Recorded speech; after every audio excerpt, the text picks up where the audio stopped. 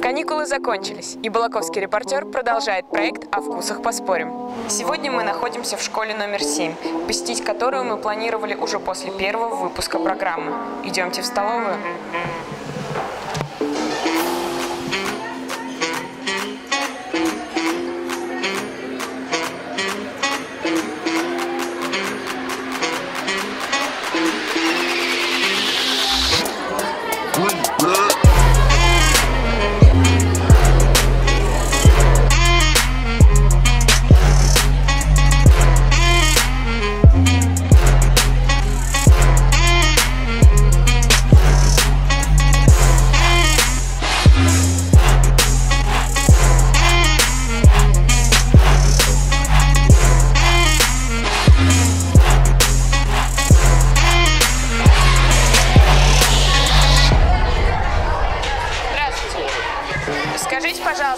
Вот эти салаты, они для кого предназначены? То есть сейчас... Они в свободном меню, их могут приобрести как учителя, так и дети.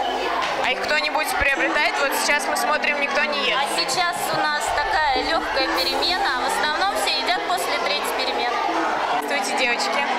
Скажите нам, почему вы питаетесь только булочками в столовой? Почему не берете обед полноценный? А, Потому что обед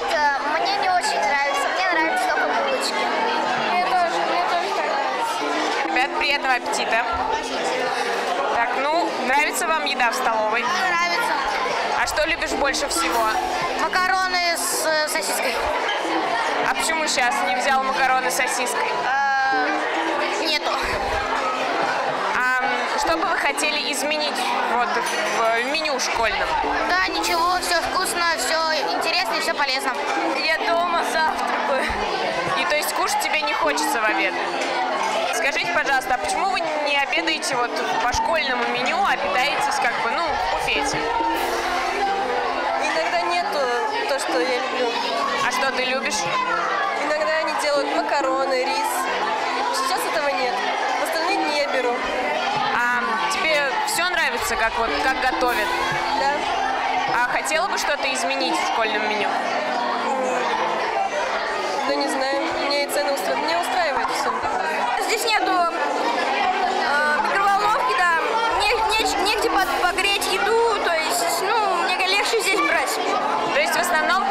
Холодную еду, правильно? Э, ну, ну как, ну из духовки ее сразу сюда приносят, когда теплая, когда холодная. Так, стой. Скажи, пожалуйста, а почему ты не питаешься вот по меню школьной столовой, а берешь еду в буфете? Ну, не знаю, просто нравится. Но мне не нравится есть просто в школе, но так вкусно тут кормят. А что именно не нравится? Ну, просто много времени для меня тратит. То есть это быстрый перекус, он Ну да, да, чтобы дойти до класса и поесть, да, чтобы приготовиться. Хорошо, спасибо. Сегодня на завтрак. Омлет натуральный с колбасными изделиями, чай с сахаром и булочка. Всего стоимость завтрака 50 рублей. Сегодня на завтрак был омлет натуральный с колбасными изделиями. Вот поясните, что такое колбасные изделия. Колбасные изделия – это колбаса, Ну, какая? вареная, вареная колбаса. Ну вот один из ребят э, пожаловался на то, что э, еда холодная на столе, когда вот он приходит на завтрак или на обед. Как вы это можете Но объяснить? в данный момент омлет, он подается холодным в данный момент. Ну а другая еда? Не знаю, вот у нас все стоит на плите, все всегда греется.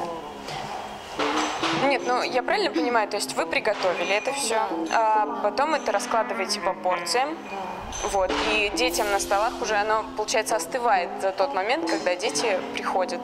Мы стараемся накрыть прям к перемене. То есть перемена, они сразу приходят и садятся. Иногда просто, возможно, задерживаются, может что-то, может из-за этого остывают.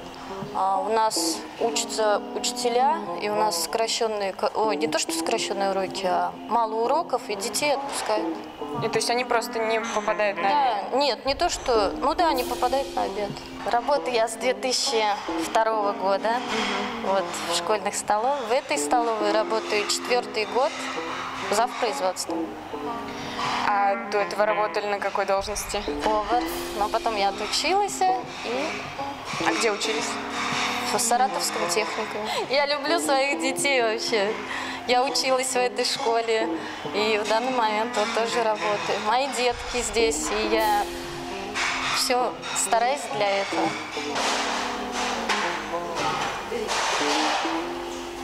Ну, сам по себе омлет, в принципе, неплохой, но вкус, вкус колбасы, у самой дешевой колбасы из магазина. Вот, вот такой вкус.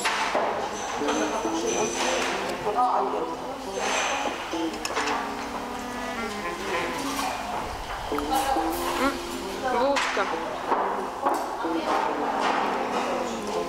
Ну, я даже не могу это описать.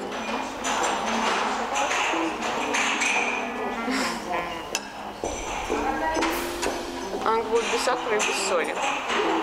Ну, разве что в очень маленьком количестве. Как вот такая традиционная булочка из столовой.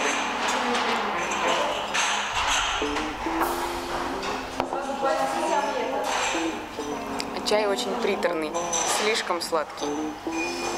Мне кажется, мне кажется, стоит да, поменьше сахара класть. Нет, я бы такой чай пить не стала. Этим сытой я бы не осталась.